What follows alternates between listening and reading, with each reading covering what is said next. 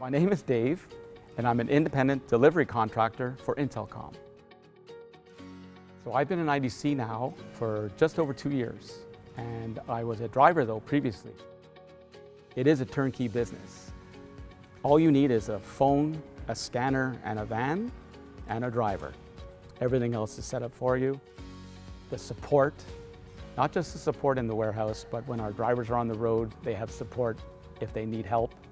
Um, the software program, the driver app, everything is done for us. What's really great is my drivers will come into the warehouse knowing what route they have to do, and all they have to do is scan, load, and deliver.